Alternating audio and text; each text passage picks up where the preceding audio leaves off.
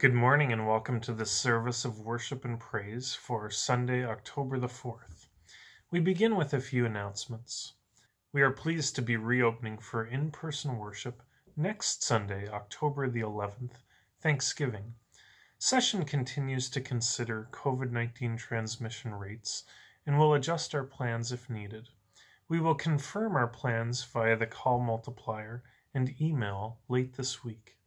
Services will continue to be streamed to the internet for those who are not yet prepared to share in person gatherings. For those of you attending next Sunday, please ensure that you wear a face mask and maintain two meters social distancing throughout your time in our church facility. The Out of the Cold team met on Thursday evening to prepare for the upcoming months. We will be serving packaged meals to the vulnerable of our community from the front of our church throughout the winter months. Volunteers are welcome to assist with preparing, packaging, and distributing the food. We are pleased to be able to serve the gospel of Christ in this way. If you'd like to help with this work, please give us a call at the church office and let us know. My friends, it is our practice that on Sundays when we gather in worship, the offering plate is passed. The offering is an invitation to share the gifts that God has blessed us with, an act of gratitude and generosity that reflects God's generosity. The offering plate is also a symbol, a reminder that all that we have is from God, even we ourselves. There have been times in Christian history when little was put into that plate. Think, for example, of traditional agricultural communities. For much of the year, there was nothing to give. Abundance only flowed at the time of the harvest. But each Sunday the plate would be passed as a reminder that God provided, that we could trust in God. I share this because today is World Communion Sunday. For the first time in generations, we are unable to gather together to participate in this sacred celebration of our unity in Christ. And yet, even that does not rob today of its meaning. As we acknowledge World Communion Sunday today, we remember that we stand in unity with Christians of all places and all times as we worship and celebrate the one who gives us life. We look forward to the day when we can share this meal together again. We place our hope in God, and so let us worship together. Let not your heart be troubled. Ye believe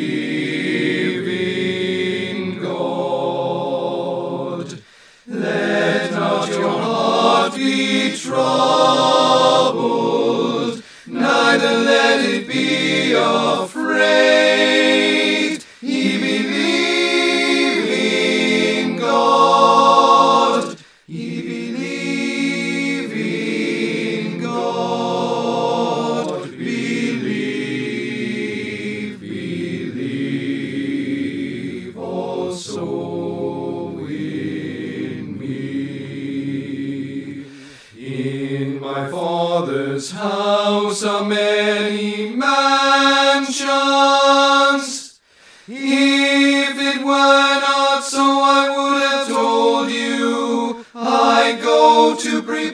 place for you.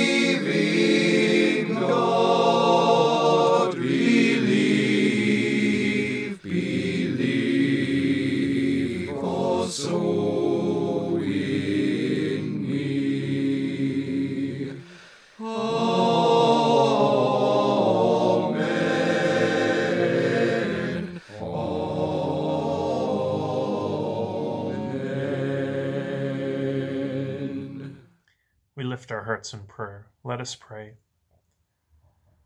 Holy God, Creator, Christ, and Spirit, when we hunger for fulfillment, you meet all our needs.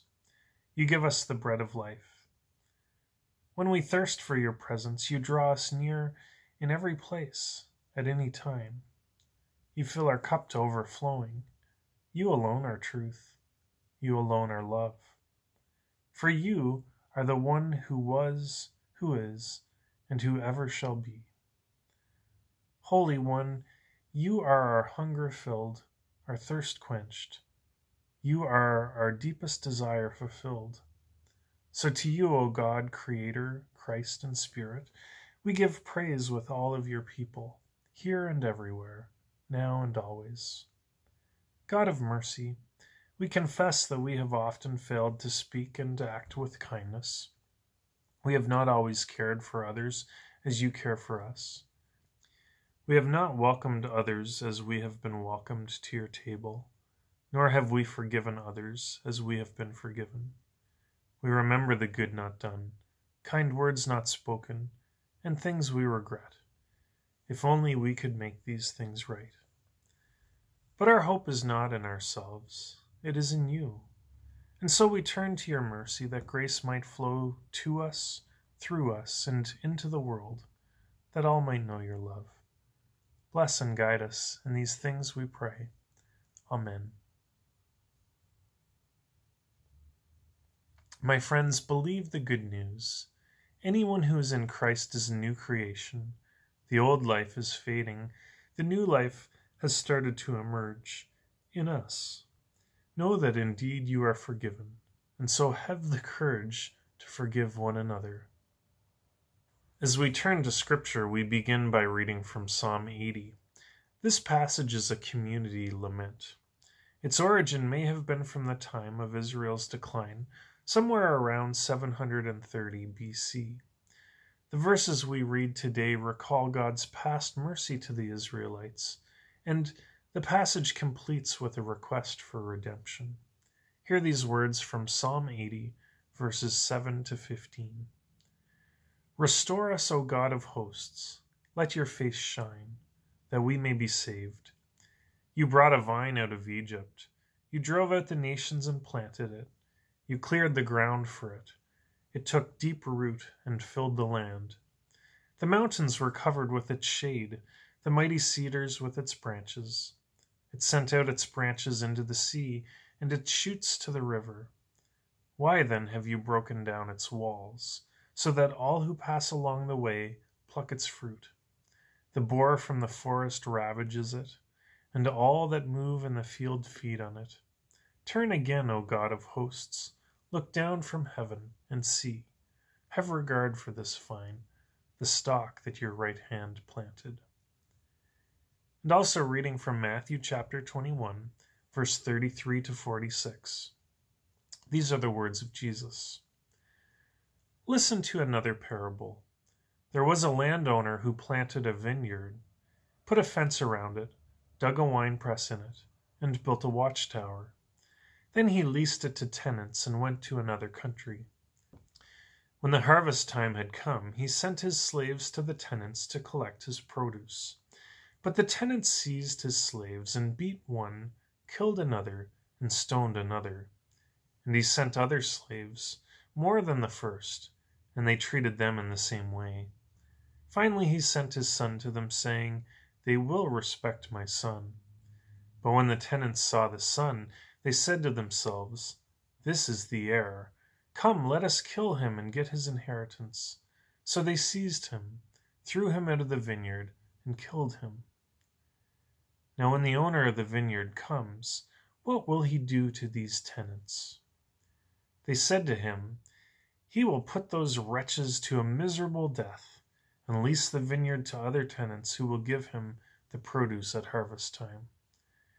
Jesus said to them, Have you never read the Scriptures? The stone that the builders rejected has become the cornerstone. This was the Lord's doing, and it is amazing in our eyes. Therefore I tell you, the kingdom of God will be taken away from you and given to a people that produces the fruits of the kingdom. The one who falls on this stone will be broken to pieces, and it will crush anyone on whom it falls. When the chief priests and Pharisees heard his parables, they realized that he was speaking about them. They wanted to arrest him, but they feared the crowds because they regarded him as a prophet. My friends, this is the word of the Lord. Thanks be to God. We live in a time when people seek out power, control, and authority over one another. You don't have to look very far to see it. The political sphere is an obvious example of such observation. But this kind of behavior is even closer to us. Many families are blessed with well meaning members who seek to gently direct the paths of their loved ones. Even my children, who get along spectacularly, have moments when one seeks control or dominance over the other, and it's not usually well received. But if you want to see the roots of a desire for power or authority, perhaps searching some of the darkest corners of your own heart might reveal some seeds that you would rather not have grow. This kind of seeking is not new. Occupations and tyrants, and enslavement and prejudices and abuses have been with us for as long as humans have walked the planet. Even our own origin story, the biblical account of the fall of humanity, Adam and Eve, involved distrust of God, a taste for divinity among humans, and a grab for unwarranted power. It is to this kind of environment that Jesus speaks. Listen to another parable, he says. There was a landowner who planted a vineyard, put a fence around it, dug a wine press in it, and built a watchtower. Then he leased it to tenants and went to another country. This parable is an allegory. The characters in the vineyard represent certain relationships between God the Jewish leaders that Jesus was speaking to, and the crowds that were gathered around them. Let's take a few moments to unpack the story a little bit, and then reflect upon what it might mean for us today. There was a landowner who planted a vineyard, Jesus says, put a fence around it, dug a wine press in it, and built a watchtower. The landowner represents God, the vineyard, creation. Note that the owner doesn't just set up some land for a tenement, but equips it with grapevines, a fence, a wine press, and a watchtower. God has blessed creation with abundance and provided richly for his people. We know because we are living in that abundance. Then he leased it to tenants and went to another country. We are stewards of creation. We don't own this earth. We don't own anything. We are caretakers, tenants. When the harvest time had come, he sent his slaves to the tenants to collect his produce. But the tenants seized his slaves and beat one, killed another, and stoned another. Again he sent other slaves more than the first, and they treated them in the same way. Finally he sent his son to them, saying, They will respect my son. Remember, Jesus is speaking to the Jewish rulers of his day, and there are probably crowds of common people gathered around as well. They would have been taught from the time they were children of the prophets and the teachers that were sent to the children of Israel to teach God's truth and to turn the people back to God's will. Many were met with violence, some were killed, others were merely ignored. The people loved to follow in their own ways, seek out their own power, control their own lives. Isaiah said it like this We all, like sheep, have gone astray. Each of us has turned to our own way, and the Lord has laid on him the iniquity of us all. And that is what God has done. The Son was sent, the fullness of God's goodness given to us in human form. We know well what happened. Jesus says it like this But when the tenants saw the son, they said to themselves, This is the heir. Come, let us kill him and get his inheritance. So they seized him, threw him out of the vineyard, and killed him. Jesus asks his listeners a question. Now, when the owner of the vineyard comes, what will he do to those tenants? And the rulers who are conversing with him reply, He will put those wretches to a miserable death, and lease the vineyard to other tenants who will give him the produce at harvest time. And in that reply, these rulers realize a truth about their own struggles and quests for power, control, and authority. Their response is not repentance. Their response is not humility, but rather they look for a way to take care of their problem, to kill the son and get his inheritance, if he will. Jesus tells them that the kingdom of God will be taken away from the fruitless and given to a people that produces the fruits of the kingdom. What does all of this mean for us? Let me suggest three things. First, if you find yourself in your life in a position of authority or influence, I would encourage you to do everything that you can to carry out that role in humility and in trust that God will guide you. I remember a line in a song that said, His rich kids think that they're better because they're better off. It's important for us to remember that we are not our circumstances, and circumstances can change. Throughout history, the powerful become corrupt in their hungry quest to preserve that power. But our trust as Christians is not in ourselves. We can receive authority and let go of it. We can face struggle and overcome it without becoming inwardly changed. The Apostle Paul wrote, I know what it is to be in need, and I know what it is to have plenty, and I have learned the secret of being content in any and every situation, whether well fed or hungry, whether living in plenty or in want. I can do all this through him who gives me strength. And so can we. Second, when the wicked prosper, do not lament.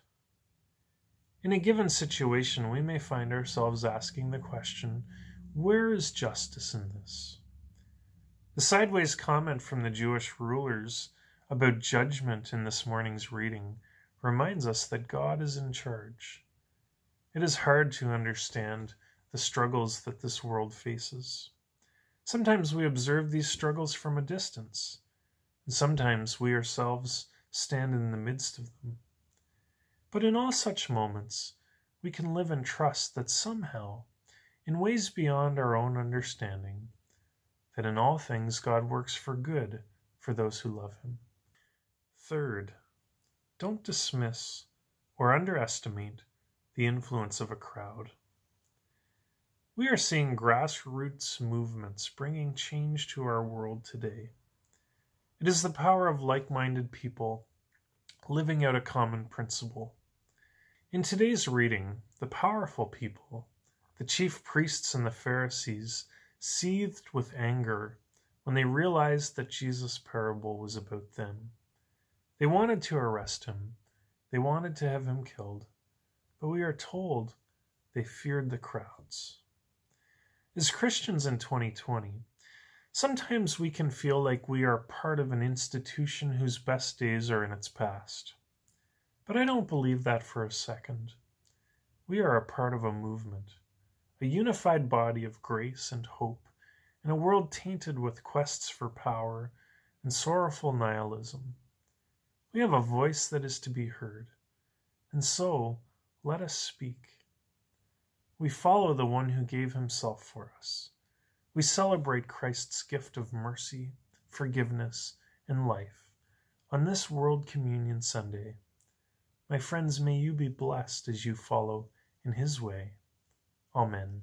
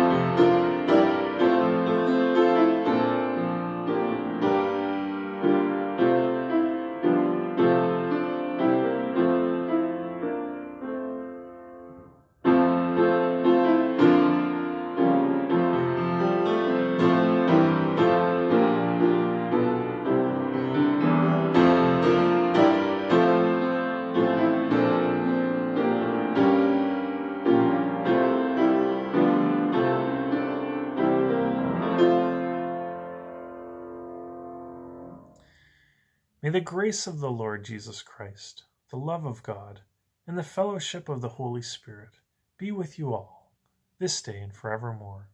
Amen.